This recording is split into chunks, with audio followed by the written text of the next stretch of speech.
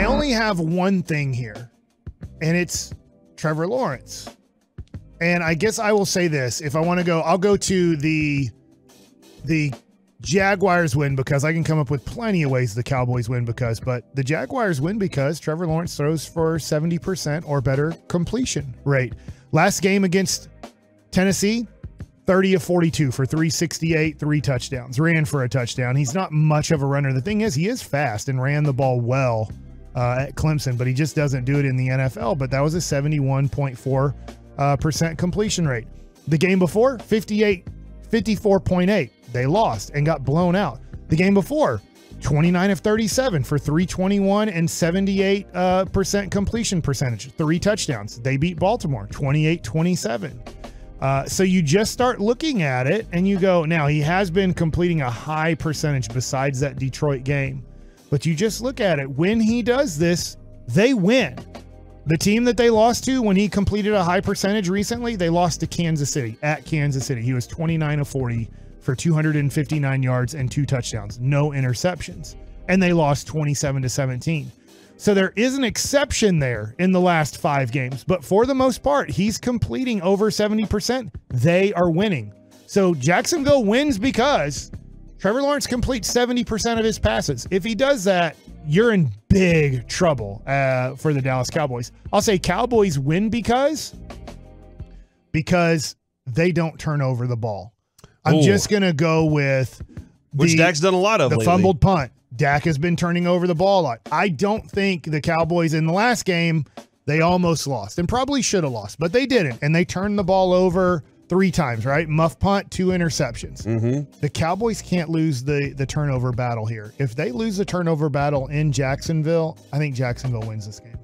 Because you, I mean, to keep a bad team from having more opportunities, Yeah. you can't be giving the, the ball to them. Like that's how the Cowboys uh, steamrolled the the Colts. That's how they did what they did against the Minnesota Vikings. They said we're we're going to get the ball from you. I mean, they did it right out of the gate. Micah Parsons comes around the corner and says, "Go to the ground. I got you. Now our football." And then the Cowboys have an extra possession that they weren't supposed to have earlier than they should have. I mean, you got a really good point there. I I do when I hear Dak Prescott say they can't happen anymore. That's why I asked Mickey that earlier. I I just don't know if I trust Dak Press if he trusts himself with some of the things that he's seeing. And I there are moments when man, listen, there are moments when Dak is awesome. But I've I watched last week against the Texans where how many times did he pump fake before he threw a ball that you that really didn't even look good anyway and you were like, "Why is he he looked like he was afraid to let go, let it loose." To your point, and it, it's not that Dak has bad arm strength, but do you notice when he doesn't? This is why the Tom House and getting his legs into the throw is so important. He doesn't have the strongest arm. He can't throw off balance or without using his hips and his legs and throw the ball hard. There's some runs like on the run where he'll do something special, but you're right. He wants to be planted a certain way. Yeah. It's just that a guy like Trevor Lawrence or these guys that are these premium guys that have powerful arms, at times they can get their legs taken out from under them or not have a pump fake, but like a pump fake where oh no, and then they they only can throw with their upper body or their arm and they can still put some zip on the ball. Dak will struggle with that. And that's why it's so important that he has proper mechanics is that he needs all of it to throw those bullets. And he does have a good arm, but he has to have his whole body in position to have that good arm uh, that you see from Dak. I think Cowboys win because their running game is their it's what they hang their hat on. Okay. And they can do it again this week. I think this is a a defense that isn't that great at making stops when they need to. Uh, Jacksonville. Yeah, Jacksonville. I'm I I was saying that Tony Pollard's not going to get you 1500 yards. He's got 894 right now. Do you think there's a chance? And I know he got a lot of carries when Better Zeke get took- over a thousand. I Yeah. know that. Well, that's what. Do you think that he can get to twelve hundred? Like, do you like that's a that's a tough goal to 300 get more to yards and change in four Yes. games. Yes, that being said, there's there is the if when we go off of how much can a guy get, I start looking at the Cowboys and Eagles schedule, and I don't think the Cowboys are going to try get week seven. Well, week 18, I guess. The last game of the season, the 17th game of the season. So you'll I, see some Malik Davis. I think will mean absolutely nothing to the Cowboys. So I do think Cooper Rush will be the quarterback. Malik Davis will be the running back. I, I think that you almost have to look at it as he only really has two more games. Mhm. Is that right? Because you have three games left or four. Uh, you have Jacksonville. Philadelphia, Tennessee, and then Washington. Washington. Yeah. So I think he has three games left to get those stats. I don't think he plays in the last game of the year. The So I still think it's possible, right? Because you're looking at Yeah. averaging a, a hundred and in just a little bit more. He has a chance. I would lean towards a no. If you if they had to play the fourth game, if it meant everything, so the Cowboys would have to win out, right? The Cowboys win their next three games. That last game means something because if Philadelphia loses the last game of the year and you win the last game of the year, you t- you overtake them and you win the division. you know who leads the team in rushing touchdowns this year? For the Cowboys, Uh huh. is it T- Pollard? This is a trick question. Zeke and Pollard are tied with nine. Okay. So you got 18 touchdowns out of the running back, out of the running back rushing this year. That's very good. That's And very good. That's more than one a game. The and then. Tony Pollard has added uh three receiving touchdowns. Zeke's added one. So that's out of that position, you've gotten 22 touchdowns. Very I mean like they're very important for the season.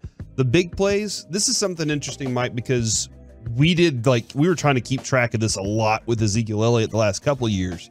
Zeke has four 20 plus yard rushes this year. And I don't know like that I've seen this kind of Zeke that we've seen the last few weeks in a long time. And maybe it's because he had a couple games off in the middle of the season, early in the season. He was able to kind of get a, a little break because he was injured. But that break now, you're seeing, I think, a different runner right now. And that's some that's where I think Cowboys win because what their running game is doing is effective. And I think they'll continue to be effective.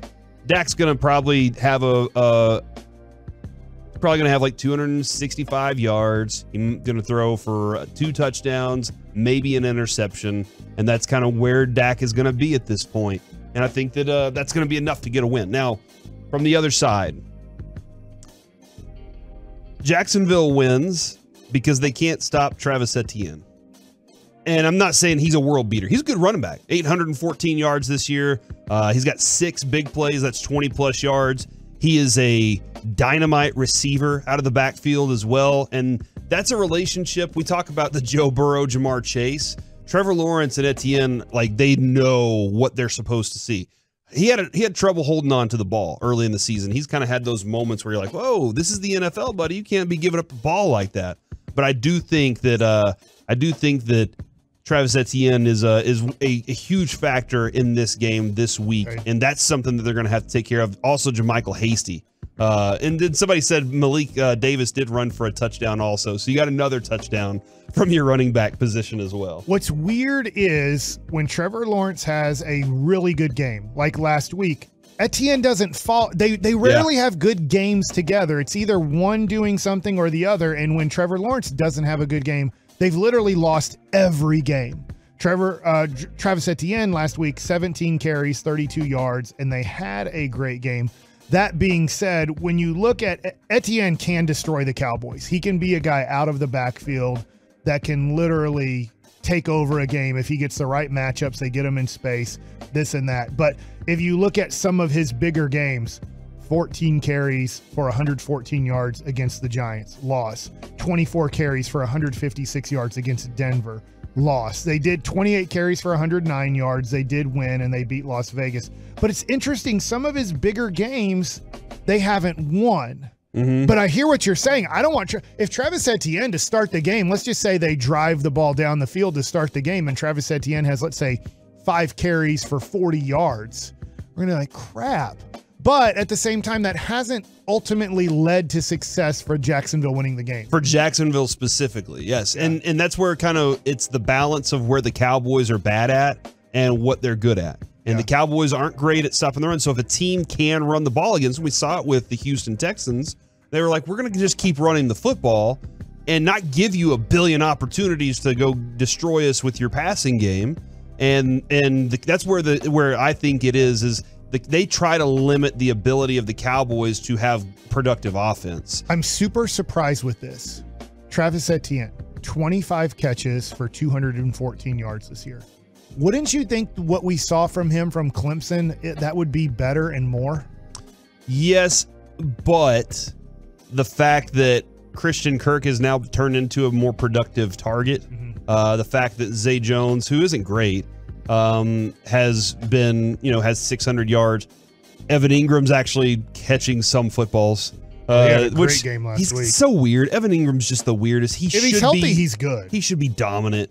Uh, and he just has not been. Marvin Jones Jr. is okay, but like I think the fact that Christian Kirk, who they really overspent on, has been productive lately. I think that's one of the factors. Is they they do want to try to take advantage of the downfield stuff as opposed to just chipping away with uh, with Etienne underneath. But the other thing too, Mike, is with the Cowboys defense, they're at their best whenever they can say, "All right, we're going at you." Hmm. quarterback. We're going we're going to take you down today. And whenever good teams run the ball well against them, they don't get that opportunity as much to force those kinds of turnovers and sacks and stuff like this. From the 682, Dallas wins because Micah pretends T Law is Jalen Hurts. Dallas loses because T Law goes Joe Montana on us. This is- I, I think everything, a lot of people are pinning ev- this game on Trevor Lawrence, which is rightfully so. Like he's the he's the quarterback that has a lot of hopes. He's completing 66% of his passes. If you hold him to 66%, he hasn't won a game this year. If he's, I mean, literally, I, that's just a crazy stat because 70% is a high percentage. And if he doesn't complete 70% of his balls, they haven't won a game this year. From the 817, Cowboys win because Micah is due for a breakout game again.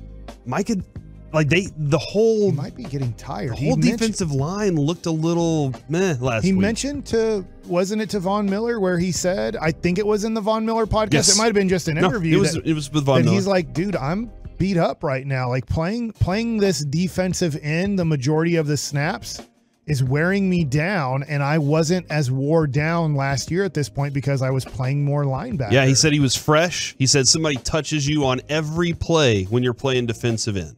You know, when you're playing linebacker, you may never, you may not get touched for six or seven. You may not get touched for two series. And remember, Dan Quinn and the Dallas Cowboys are learning more and more about their Micah Parsons, the mm-hmm. best the best defensive player in the NFL. I do believe he is, but they were like, "Hey, look what he did last year. Let's put him at defensive end a little bit more." We had these discussions, right? And it seemed like, "Yeah, let's put him at defensive end more." But now they're going to get another season under their belt and go, "Hey, maybe we shouldn't put him at defensive end that much because we did wear him down." Or maybe he has a great playoff run and you're like, "Hey, when it was nut cutting time and it was time to do it, he was once again the best defensive player in the NFL. Dude, he gives up like 70, 80 pounds in a lot of situations to the guys that he's going up against. While he has speed, you know, the body is taking that that toll on him. And I totally get that part of like that was different than last year. I was a little bit fresher at the end of the season, and I'm just trying to.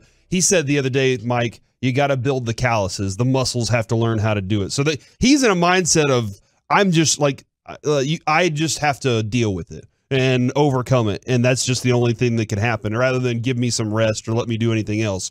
But I think whenever if uh, if the plays don't continue to happen, Cowboys got to look into some other things. Mike McCarthy does a pretty good job at that.